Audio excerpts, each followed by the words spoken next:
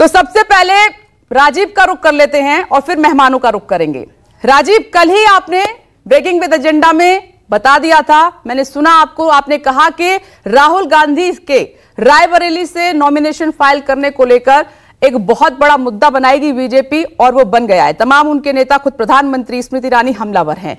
लेकिन राजीव, ये पहली दफ़ा तो नहीं हुआ है। कि राहुल गांधी दो सीट से ताल ठोक रहे हैं, उन्होंने अपनी सीट बदली है। इससे पहले इस फहरिस्त में बड़े नाम रहे हैं, जिसमें लालकृष्ण अडवाणी हैं।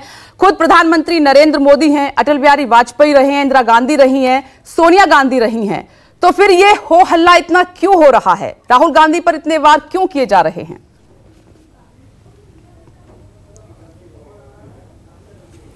देखिए, विपनेश, पहली बात तो यह है कि ब्रेकिंग विद एजेंडा में आप बहुत दिनों के बाद आज आई, आपका स्वागत है।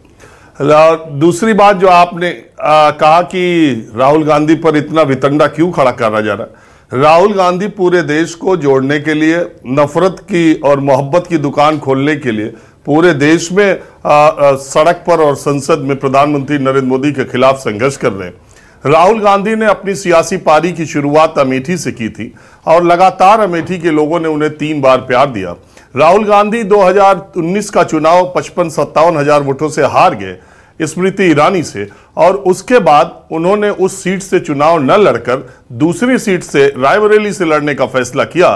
तो निश्चित तौर पर यह सवाल उठाया जाएगा कि जहाँ से आप पंद्रह बार लगातार सांसद रहे, आपके पिता लगातार सांसद रहे, आपकी माँ भी वहाँ से सांसद रही तो वो सीट स्मृति ईरानी से हारने के बाद आपने छोड़ दी। इसका मतलब कि आप अमेठी में डर गए। ये सामान्य सी बात है और सामान्य तौर पर इसे कहा जाएगा, कल भी ये मैंने बात कही कि अब से लेके आखिरी चरण तक सारे भारतीय जनता पार्टी के छोटे से और बड़े नेता ये बात कहते रहेंगे कि राहुल गांधी, अमेठी में स्मृति ईरानी से डर गए। और ये ज़ाहिर सी बात है, सवाल ये उठता है कि, और जहाँ तक चुनाव लड़ने की बात है, दो बातें अमेठी हार करके छोड़ना दूसरी बात है। अमेठी जीत करके छोड़ना दूसरी बात है। अगर ये तर्क दिया जाता है कि राहुल गांधी शायद अमेठी रिटेन नहीं करना चाहते थे, इसलिए उन्होंने चुनाव नहीं लड़ा तो पहले उन्हें चुनाव लड़ लेना चाहिए था। जीतने के बाद फैसला होता कि कौन सी सीट वो रखेंगे, कौन सी सीट छोड़ेंगे। ये एक पहलू है इसका। दूसरा पहलू यह है कि राहुल गांधी ऑलरेडी एक वायनाड सीट से चुनाव लड़ चुके हैं और वहाँ मतदान हो चुका है। उन्हें ज़्यादातर संभावना, विरोधी भी ये मानते हैं कि जीत का अंतर बड़े, कम ज़्यादा हो, लेकिन राहुल गांधी वायनाड से चुनाव जीत ही जाएँगे। तो अगर ऐसी स्थिति है तो फिर राहुल गांधी को दूसरी सीट पर लड़ने की भी ज़रूरत नहीं थी। फिर रायबरेली अगर अमेठी नहीं लड़े तो रायबरेली भी नहीं लड़ना था, क्योंकि अगर उन्हें वायनाड सीट रखनी ही थी तो फिर रायबरेली लड़ने का फैसला उन्होंने क्यों किया? और अमेठी में के शर्मा को लड़ाने का फैसला क्यों किया गया? ये इसका दूसरा पहलू है। इस पर थोड़ा आ, दर्शकों को भी फैक्ट फिगर के बाद साथ में चीज़ों को बताता हूँ। देखिए यह आज़ादी के बाद जब पहला लोकसभा का चुनाव हुआ था फिरोज गांधी आ, जो इंदिरा गांधी के पति थे राहुल गांधी के दादा थे वो अगर आप किताबों में जाएँ देखने का तो उनकी इलाहाबाद से लोकसभा लड़ने की बहुत इच्छा थी। लेकिन उस वक्त नेहरू जी के करीबी और गांधी परिवार के करीबी रफी अहमद किदवई एक नेता था, जिन्होंने फिरोज गांधी से कहा कि आपको रायबरेली से चुनाव लड़ना चाहिए और उन्हीं के आग्रह पर फिरोज गांधी यहाँ से चुनाव लड़ने आए। जब पहला चुनाव फिरोज गांधी लड़ रहे थे तो बतौर पत्नी इंदिरा जी ने पैदल यात्राएँ रायबरेली के गाँव में की थी और यहाँ के लोगों से एक कनेक्ट बना था। उन्नीस सौ बावन और सत्तावन दो चुनाव जीतने के बाद 1960 में उनका जब निधन हो गया तो उपचुनाव हुआ तब कांग्रेस पा, पार्टी ने गांधी फैमिली के किसी आदमी को नहीं उतारा। दो चुनाव जो है वो दूसरे लोगों ने जीता लेकिन कांग्रेस पार्टी ही जीतती रही। 19 उसके बाद इंदिरा जी आई तीन बार यहाँ से चुनाव जीती। 1980 का जो चुनाव जो सतहत्तर का जो चुनाव हुआ था इमरजेंसी के बाद तो उसके बाद 80 में जब वो चुनाव लड़ी तो दो सीटों से लड़ी मेढक में और रायबरेली में और उन्होंने रायबरेली को छोड़ दिया। उसके बाद आ, फिर दूसरे लोग गांधी परिवार के करीबी अरुण नेहरू शीला कौल ये लोग जीतते रहे दो बार बीजेपी जब गांधी फैमिली नहीं लड़ी तो दो बार ऐसा हुआ छियानवे और अंठानवे में कि बीजेपी रायबरेली की सीट जीतने में कामयाब हुई। लेकिन जब से सोनिया गांधी आई 20 साल से वो यहाँ पर सांसद है, लगातार रायबरेली ने उनको चुना है। अगर आप देखें तो 2014 में और 2019 में प्रधानमंत्री नरेंद्र मोदी की प्रचंड लहर के बावजूद साढ़े तीन लाख वोटों से रायबरेली में, जबकि पूरे देश और दुनिया को पता था कि कांग्रेस पार्टी की सरकार बनने वाली नहीं स्थिति बहुत बुरी है। उसके बावजूद रायबरेली में मोदी, प्रधानमंत्री मोदी की प्रचंड लहर के बावजूद भी रायबरेली के लोगों ने साढ़े तीन लाख वोटों से सोनिया गांधी को 2014 में जिताया और एक लाख सत्तर हज़ार वोटों से 2019 में लड़ा है। अब बताइए अमेठी में गांधी परिवार 1980 में गया था।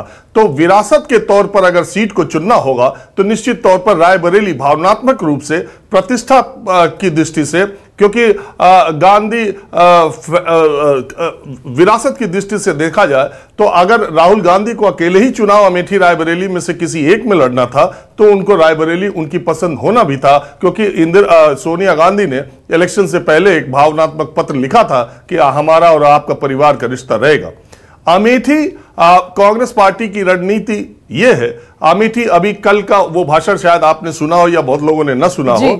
प्रियंका गांधी वहाँ जब रैली को संबोधित कर रही थी तो वो लगातार लोगों को देख के बोल रही थी अच्छा आप भी आए अच्छा आप भी आए बिल्कुल। ऐसा उनका जो कनेक्ट है और उन्होंने उन लोगों को यह बोला कि 6 मई से मैं यहीं रहूँगी।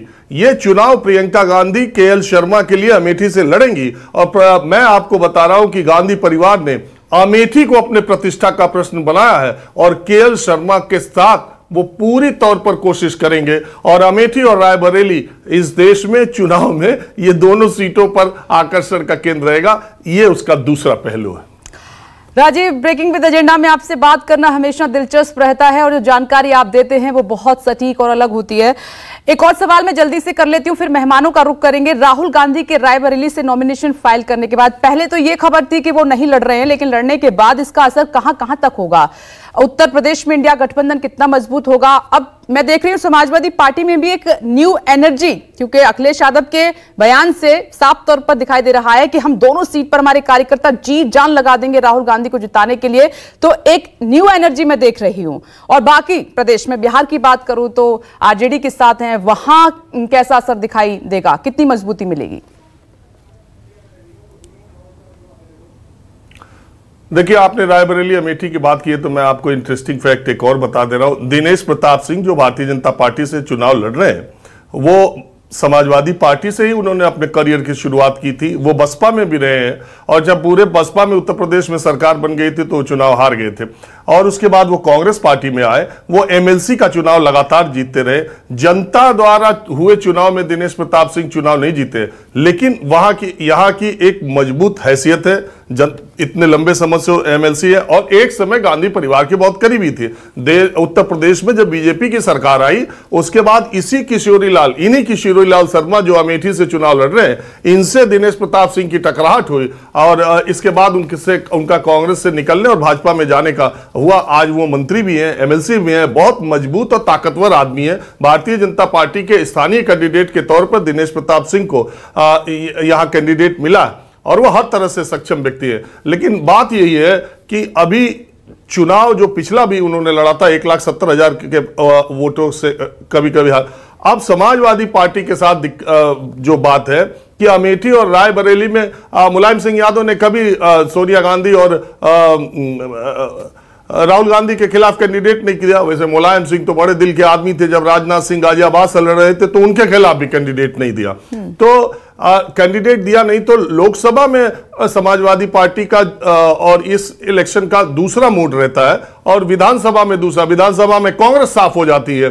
समाजवादी पार्टी का इन दोनों जिलों में दबदबा रहता है। हालाँकि उनके कुछ जो नेता प्रमुख चेहरे थे वो पाला बदल चुके अमेठी रायबरेली के माहौल से पूरे उत्तर प्रदेश के माहौल को मैं मानता हूँ कि जोड़ना ठीक नहीं होगा क्योंकि पिछले 25-30 वर्षों से प्रदेश में कांग्रेस की क्या स्थिति आपको पता ही है हम्म। लेकिन अमेठी और रायबरेली ने कभी गांधी परिवार को छोड़ा नहीं। अमेठी को पिछली बार को अगर देखा जाए उसको छोड़कर। ठीक है राजीव आप हमारे साथ बने रहें आगे भी आपसे समझेंगे।